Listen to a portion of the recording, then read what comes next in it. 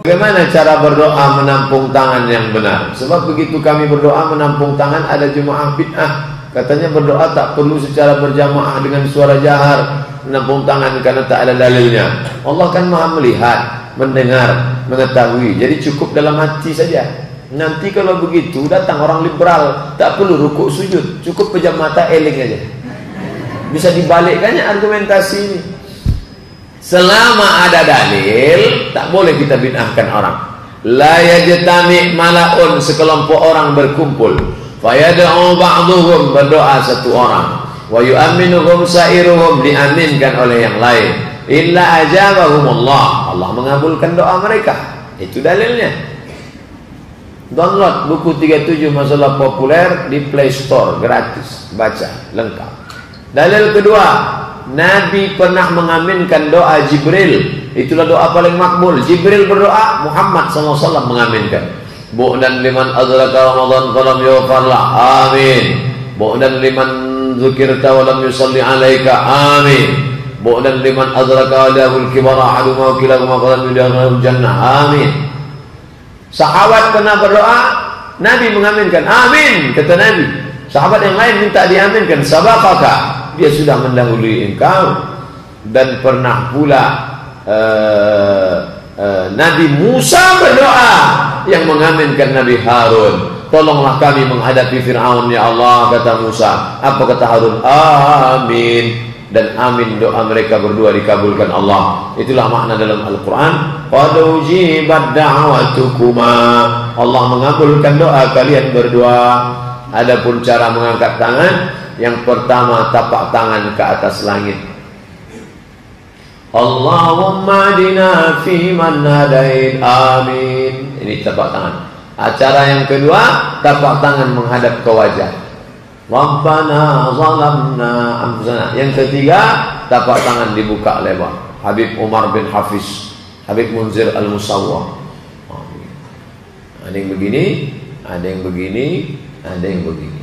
Yang keempat yang menolak bala. Allah madfa'ana al-ghala wal waba wal fasa wal riba wal zina wal munkar wal suyuf al mukhtalifat wal mihan ma dhara minha ma batan.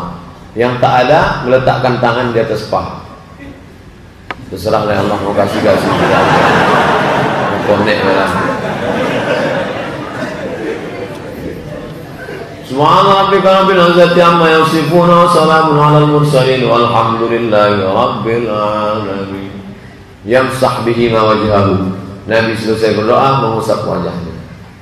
Tapi katanya hadisnya tak bisa dipakai Pak Ustaz. Buka bulughul maram min adillatil ahkam. Apa komentar Al-Hafiz Ibnu Hajar Al-Asqalani? Kata Imam Al-Hafiz Ibnu Hajar Al-Asqalani, hadis tentang mengusap wajah hadisun hasan. Karena jalur riwayatnya banyak, naik derajatnya dari dhaif menjadi hadisun hasan. Di saat Natal banyak orang Kristen yang pesan makanan. Bolehkah kita membuatkan makanan tersebut untuk mereka? Bagaimana kalau kita dibayar untuk itu? Syubuhan.